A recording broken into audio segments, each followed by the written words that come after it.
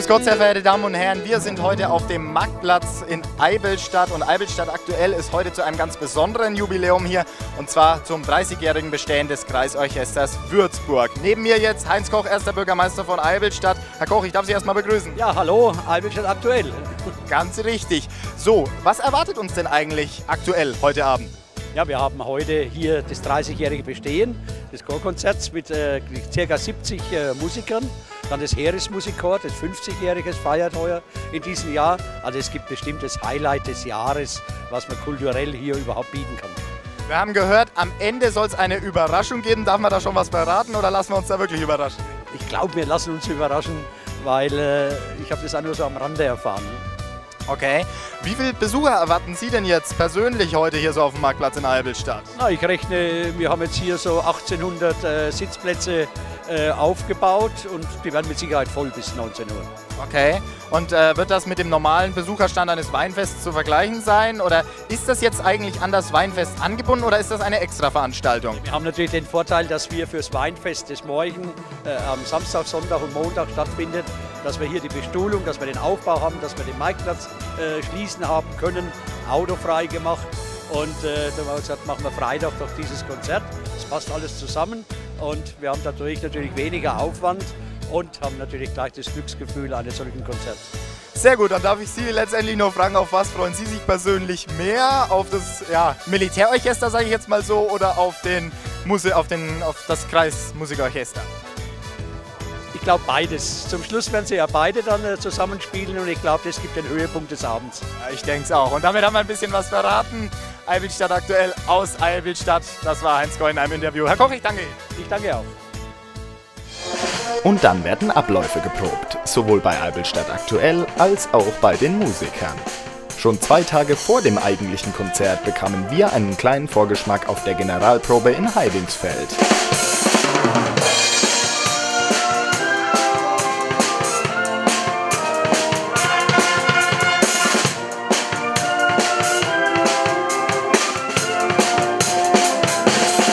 Damen und Herren, jetzt stehen wir vor der Bühne und neben mir der stellvertretende Kreisvorsitzende des Nordbayerischen Musikbunds, ja, Markus Schenk. Herr Schenk, was erwarten Sie sich so von dem heutigen Auftritt? Ja, also Gott sei Dank ist das Wetter spielt ja mit. Heute Morgen hat es noch nicht so toll ausgeschaut. Der Platz füllt sich langsam und wir werden heute ein paar Highlights erleben. Es spielt das Kreisorchester Würzburg zum 30-jährigen Jubiläum. Im Anschluss dann das Heeresmusikchor 12 aus Veitshöchheim. Die haben heuer 50 Jahre Jubiläum auch. Und als Highlight heute abends bei leichter Abenddämmerung werden wir eine Serenade nochmal begehen mit den Spessart Highlanders, einer Dudelsack-Truppe aus der Aschaffenburger Ecke. Also ich freue mich riesig und ich glaube, es wird ein tolles Event. Das mit den äh, Spessart Highlanders, das weiß aber hier auf dem Platz noch keiner, ne? Ja, das ist ein bisschen eine Überraschung. Es war klein auf dem Plakat gestanden, aber wir lassen uns überraschen. Ne? Aber wir sind aktuell genug, um es jetzt schon zu wissen. Yes! Okay, dann danke schön. erst. Vielen Dank, ja. Jetzt sind wir im Rathaus in Eibelstadt. Lange haben wir ihn gesucht und jetzt haben wir sein Zimmer gefunden. Dort oben ist es das Zimmer des Oberstleutnant Zenglein. Hoch geht's. Und zwar werden wir den verehrten Herrn jetzt mal fragen, wie es denn eigentlich so läuft heute mit dem Heereskorb aus Veitshöchheim. Klopfen am besten mal. Und schauen, ob er da ist. Grüß Gott, Eibelstadt aktuell. Wer ist denn der Herr Zenglein? Herr Zenglein, grüß Gott. Maximilian Guberner mein Name. So, ähm, ja, genau. So, ähm, Sie sind der Dirigent des Heeresmusikkorps aus Veitshöchheim. Richtig, ich bin der Chef, Chef offiziell Bezeichnung des Chefs des Heeresmusikers 12, ja. Okay, gut. Was dürfen wir denn von Ihnen heute so erwarten? Also wir bringen ein kompaktes Programm mit äh, der Mischung, was man vom Militärorchester erwartet. Wir haben auch den einen oder anderen Marsch, aber natürlich nicht nur. Wir haben sinfonisches Werk, was zu unserem Jubiläum passt. Wir haben ja auch Jubiläum, ja, ein Doppeljubiläum, was wir heute feiern, 50 Jahre Heeresmusiker 12. Und da haben wir die Golden Festival, Overture heißt es, also goldenes Jubiläum, Golden Festival. Und ein bisschen Unterhaltungsmusik dabei, auch modernerer Art, südamerikanisch etc. Ja, da gibt es ja heute einiges zu feiern. Wir haben schon gehört, am Ende gibt es noch eine Überraschung. Wie äußern Sie sich dazu oder sind Sie da auch dabei? Ich bin auch dabei, ich bin auch beteiligt als Dirigent von einem der Werke, die am Schluss gespielt werden. Und da kommen mal Instrumente zum Zuge, die man hier in der Region sonst nicht so oft hört. Okay, da freuen wir uns sehr drauf und dann danke ich Ihnen erstmal für das kurze Interview.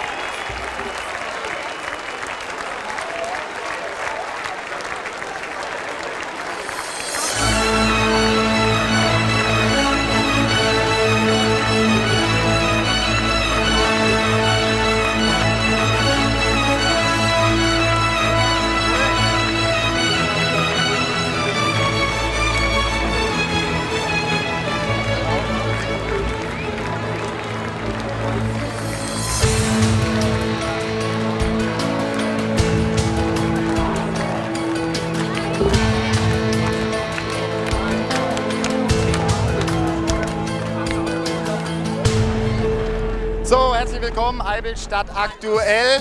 Und jetzt fragen wir gerade mal nach, wie ist Ihr Name? Mein Name ist Manfred Knorr. Und wie war der Abend für Sie, der Serenadenabend? Was war Ihr persönliches Highlight? Ausgezeichnet.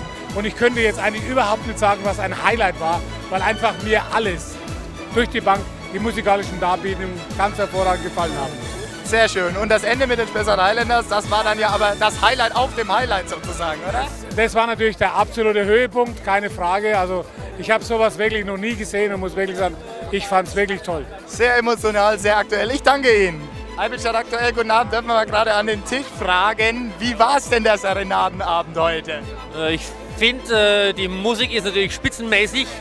Natürlich ist äh, die Lautstärke der Gäste etwas, etwas zu stark gewesen, aber für das Ambiente hier war es wunderbar. Bei die Lautstärke am Ende jetzt bei dem Spessart Highlanders äh, Spezialstück, sagen wir mal so, das hat auch gepasst dann, oder? Das wollte ich genau sagen. Das war natürlich der Punkt, wo auf I gepasst hat. Das war super gut. Dankeschön. Wirklich wahr. Wie bitte? Ist unter die Haut gegangen, jetzt die letzten paar Stücke. Ja, war emotional aktuell, ne? Dankeschön. Die High Society von Eibelstadt. Hier äh, die Top-Kosmetikerin. So, wir, wir dürfen, Sie dürfen ruhig gerne auch mit vortreten. Wie ist Ihr Name? Ich bin die Angela Schmuck. Hab Und Sie? Susanne. Und Sie? Christine. Und äh, was sagen Sie zu diesem Abend? Es war. Spitze. Genau, können wir das nochmal gescheit machen? Es war. Spitze! Ganz genau. Sie sind der Schlagzeuger vom Kreisorchester. Wie war der. Wie? Einer von fünf. Einer von fünf. Wir haben es gesehen, sehr beeindruckend. Wie war der Abend denn für Sie? Top, auf jeden Fall. Hat super Laune gemacht, war eine richtig schöne Spaßmucke. Einer Ihrer gelungensten Auftritte, wie Sie sagen, oder war es ein Standard für Sie? Na, Standard würde ich nicht sagen. Also ich habe schon ein paar schöne Sachen gemacht, aber das war ein schönes Highlight in, de, in diesem Ambiente hier. Und das mit den Spessart Highländer, das, das ging dann unter die Haut, oder? Sehr top, ja, sehr top. Okay, ja dann, schönen Abend noch und guten Appetit. Sehr verehrte Damen und Herren, hier haben wir jetzt den Herrn. Erich Büttner, So, Herr Büttner, wie war der Abend denn für Sie, der Serenadenabend? ein Erlebnis. Ja, Sie sind ja wie lange jetzt schon in Eibelstadt? Über 40 Jahre. Und sowas hat man noch nicht oft gesehen, oder? Nein, und ich spreche ja auch als, als Musikant. Da war ein Könner am Werk. Allerdings, vor allem das am Ende, das ging richtig unter die Haut, oder? Zum Schluss war das ein Gesamtkunstwerk. Da ist einfach die Seele aufgegangen. Da hat man nicht mehr geklatscht, da hat man die, die Hände gefaltet.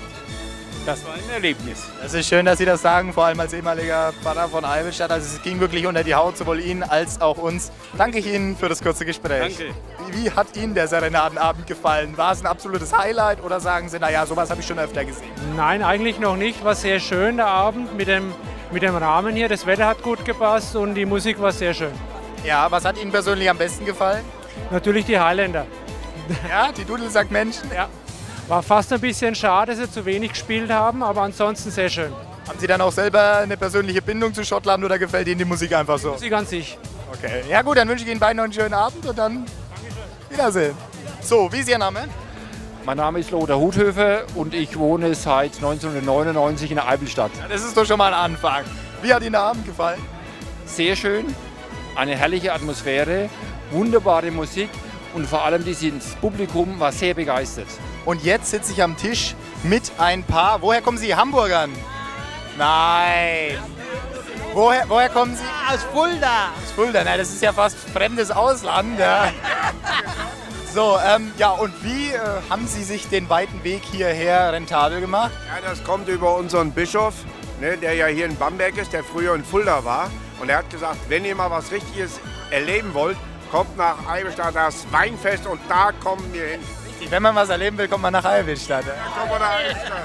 Und wenn man das hinterher sehen will, muss man wohin? Ja, wieder hierher kommen. Und, äh, bei welchem TV-Sender kann man sich das angucken? Ja, bei Eibenstadt aktuell. Ah, genau, sehr verehrte Damen und Herren. Ja.